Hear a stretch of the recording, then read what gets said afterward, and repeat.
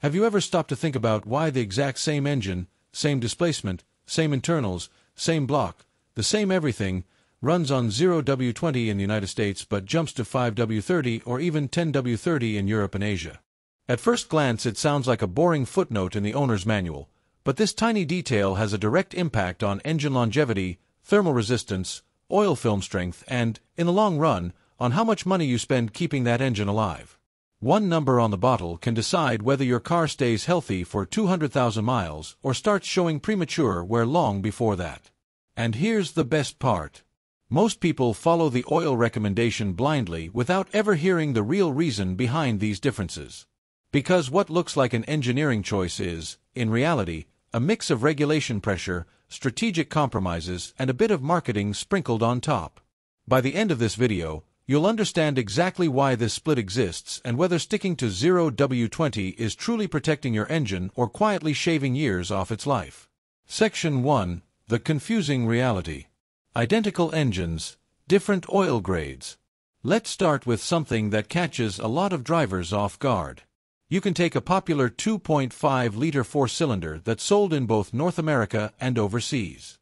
In the United States, the manual demands full synthetic 0W20, nothing else. But that same engine, produced in the same factory, running the same bearings, same compression ratio, and same cooling system, shows up in Australia, Japan, or the UK with recommendations ranging from 5W30 to 10W30. Or look at many 1.5-liter turbo engines. The American version uses 0W20 because that's the spec tied to federal testing.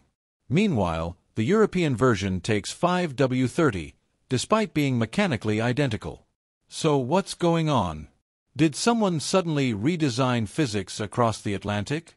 Is it climate, road conditions, or something more political? Climate alone doesn't explain it. If weather were the deciding factor, states like Florida and Minnesota would require completely different viscosities, but they don't. The real explanation revolves around emissions laws, the way fuel economy is measured in the U.S., and the pressure automakers face to squeeze every last drop of efficiency from their engines. Section 2 The Corporate Truth CAFE and the Fuel Economy Squeeze. Here's the part almost no American car owner hears. Manufacturers in the United States must meet strict CAFE standards, federal rules that dictate the average fuel economy of every vehicle a company sells. If an automaker falls short, they pay penalties that can reach millions of dollars for missing the target by fractions of a mile per gallon. So when engineers are told they need to boost efficiency without redesigning the engine, they start reducing internal friction anywhere they can. One of the easiest places to do that is the oil. A thinner viscosity like 0W20 flows with less resistance, which means lower parasitic drag inside the engine. When that vehicle undergoes EPA fuel economy testing, Switching from 5W30 to 0W20 can raise the recorded fuel economy by half a mile per gallon, sometimes more. That difference is enough to keep a manufacturer compliant and avoid a fine. But there's a trade-off. Thinner oil forms a thinner protective film.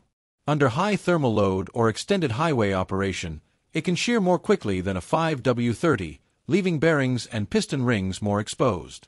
This is why markets like Japan, Europe and Australia still favor 5W30 or 5W40 for many of the exact same engines. Their regulations prioritize long-term durability and emissions longevity rather than squeezing out the lowest possible friction number. As one veteran powertrain engineer once put it, the oil choice is not always a matter of engineering, sometimes it's a matter of paperwork. Section 3 Viscosity Explained what 0W20 and 5W30 really mean. Before going any deeper, let's break down the numbers on the bottle. In 0W20, the 0 with the W refers to winter flow. The lower it is, the better the oil circulates when the engine is cold. This helps during cold starts, which are responsible for a significant portion of engine wear. The 20 refers to the viscosity at full operating temperature. It's the measure of how thick the oil remains once the engine is hot. Now compare that to 5W30. It's slightly thicker at startup and about 50% thicker at high temperature. That added viscosity gives a stronger oil film under heat and load, making it more suitable for long interstate drives, towing, and high-speed operation. In simple terms, 0W20 prioritizes cold start efficiency and fuel economy. 5W30 prioritizes thermal protection and long-term durability. So when automakers switch between these two in different countries, it's because their priorities shift between regulation-driven efficiency and real-world longevity. Section 4. Engineering Tolerances Why some engines accept thinner oils. Modern engines, especially those built for the U.S. market, use extremely tight tolerances. Pistons, bearings, and valve train components are designed to operate with very thin oil films. This keeps friction low, warms the engine faster, and helps pass emissions testing. Older designs or engines aimed at durability-oriented markets use slightly larger internal clearances and benefit more from thicker viscosities like 5W30 or 5W40. But here's the subtle detail that many overlook. Internal tolerances widen as engines age. A vehicle that was perfect on 0W20 when new may show smoother operation, reduced consumption and better wear protection on 5W30 once it passes the 100,000 mile mark. That's why experienced technicians often recommend stepping up one grade on higher mileage engines. As one mechanic put it on a well-known automotive forum, engines grow, they wear, and the oil should grow with them. Section 5. The Heat Factor. America's real challenge isn't winter, it's summer. A lot of people assume 0W20 was chosen strictly because of cold climates. That's not even close to the full picture. In reality, much of the United States deals with hotter average summer temperatures than Japan, Germany, or the UK.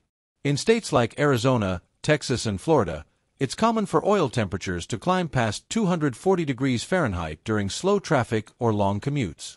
That's where thinner oils begin to show their limits.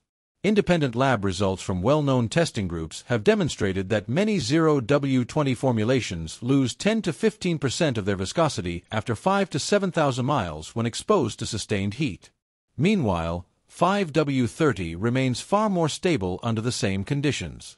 This doesn't make 0W20 a bad oil. It simply means it's more sensitive to environmental stress and driving habits. If you live in a hot region, drive long distances daily, tow, or push your car hard on the highway, a slightly thicker viscosity almost always provides improved long-term protection. That's exactly why major manufacturers recommend 5W30 for the same engines in regions like Australia, the Middle East, and Southeast Asia. In those markets, heat is the main enemy, not the EPA's fuel economy rules. Section 6. The EPA versus engineers. Who really picks the oil? Here is the part that rarely makes it into public discussion. The engineers who design the engine are not always the ones who choose the oil that ends up printed in the U.S. owner's manual. When a vehicle is certified for American sales, the oil grade becomes part of the official EPA submission data. Changing that viscosity later would require recertifying the entire vehicle, an expensive and time-consuming process that no manufacturer wants to repeat unless absolutely necessary. So once an engine is certified using 0W20, the specification stays locked in place even if the engineers know that 5W30 provides better protection under certain climates or driving conditions. That's why service bulletins often say things like 5W30 may be used if 0W20 is unavailable. The translation is simple. The thicker oil works fine, but it can't be listed as the primary recommendation without triggering regulatory complications. So the next time someone says, just follow the manual, remember that the manual reflects compliance requirements as much as it reflects engineering reality. Section 7. Real-world testing. 0W20 versus 5W30 in head-to-head comparisons. Now let's move beyond theory and look at actual data from teardowns, lab reports, and long-term field tests. Consider a pair of identical 2.5-liter four-cylinder engines used in a controlled 100,000-mile comparison in hot southern U.S. conditions. One ran exclusively on 0W20, the other on 5W30. The 0W20 engine achieved slightly better fuel economy, roughly an additional 0.7 miles per gallon. But the 5W30 engine produced dramatically lower wear metals in used oil analysis, around a 40% reduction. The 0W20 engine showed light varnish inside the valve cover, while the 5W30 engine was noticeably cleaner. So in practical terms, 0W20 saved around $40 per year in fuel, but may have increased long-term wear by a much larger margin. Another example comes from the 1.5-liter turbo engines commonly found in compact sedans and crossovers. Long-term testing revealed increased oil consumption and elevated turbo bearing wear when running 0W20 in hot climates. After switching to 5W30, oil consumption dropped by roughly 30% and wear metals were nearly cut in half. This makes sense when you consider how small turbocharged engines operate. Under boost, oil temperatures rise rapidly and the turbocharger demands a stable oil film to protect the bearings. In those conditions, a slightly thicker oil simply maintains its structure better. What makes this even more telling is that outside the United States, the same turbo engines are routinely recommended to run 5W30 from the factory. In other words, when fuel economy targets loosen and heat becomes the priority, manufacturers default to the viscosity that offers stronger long-term protection. Section 8. The warranty question. Can you switch safely? This is the point where most drivers start worrying. If you switch from 0W20 to 5W30, does your warranty instantly evaporate? The answer, according to U.S. federal law, is no. Under the Magnuson-Moss Warranty Act, a manufacturer cannot deny warranty coverage unless they can prove that what you changed directly caused the failure. That means if you use a high-quality manufacturer-approved 5W30 synthetic that meets the same API SP or ILSAC GF 6 standards as 0W20, your warranty remains fully intact. Many factory service documents even include language like 5W30 may be used if 0W20 is unavailable, which is the polite, legal way of saying the thicker oil works fine but can't be listed as the primary spec for regulatory reasons. That's why seasoned technicians commonly recommend stepping up to 5W30 once an engine has 60 to 80,000 miles, especially in hot climates or older engines that have naturally developed a bit of internal clearance. It's not breaking rules. It's simply choosing oil based on real-world conditions instead of laboratory conditions. Section 9. The chemistry behind it. Additives matter more than viscosity. Here's a detail that even many mechanics overlook. The additive package inside your oil determines protection far more than the viscosity number printed on the bottle. Two different 5W30 oils can deliver dramatically different results. Detergent strength controls sludge formation. ZDDP levels influence wear protection on metal-to-metal -metal contact surfaces. Base oil chemistry, whether group 3 hydrocracked, PAO, or ester, determines film strength and resistance to heat breakdown. A high-quality ester-based 0W20 can outperform a bargain bin 5W30 conventional in almost every category simply because of better formulation. That's why lubrication specialists consistently emphasize choosing a premium synthetic with strong high-temperature stability rather than relying solely on viscosity changes to solve problems. In other words, thickness helps, but chemistry wins. Section 10. The Temperature Truth The W rating isn't what most people think. There's a widespread misconception that 0W means winter oil and 5W means summer oil. That's only partially accurate. The W rating applies exclusively to cold start viscosity, not how the oil behaves when the engine is hot. A 0W20 and a 5W20 both perform like a 20 weight oil at operating temperature. The difference is how they flow when the engine is cold. In most of the United States, unless you're dealing with sub-zero winters in places like Minnesota, Montana, or interior Alaska, the cold start advantage of 0W versus 5W is minimal. In contrast, the hot temperature protection of 5W30 provides measurable benefits during summer commutes, stop-and-go traffic, towing, or highway driving in states that regularly see triple-digit temperatures.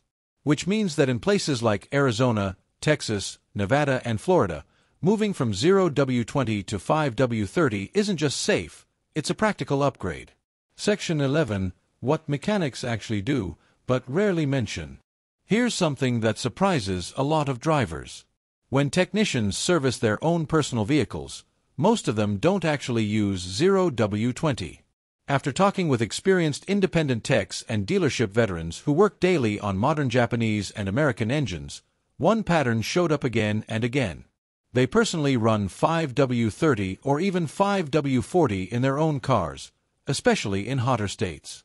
One master technician summed it up perfectly. We put 0W20 in customer cars because that's what the invoice requires. But if it's my engine, it gets 5W30. It just survives heat better. Another pointed out that the difference in fuel economy is tiny, while the reduction in long-term wear is significant. In other words, the people who see engine failures every day tend to choose the oil that prevents them. Section 12. What oil you should actually use. Here's the bottom line. If you live in a colder region, take mostly short trips, and stick to regular oil change intervals. 0W20 works perfectly well. It flows fast, warms up quickly, and meets all efficiency targets. But if you live in a hot state, drive long distances, tow, haul, or your engine has passed 60,000 miles, a high-quality full synthetic 5W30 will almost always offer better long-term protection. The goal isn't to run the thinnest oil possible. The goal is to match the oil to your real driving conditions. And it's worth repeating, the same engines that use 0W20 in the US are certified to run 5W30 in other countries with no issues at all. You're not ignoring engineering. You're finally thinking like an engineer.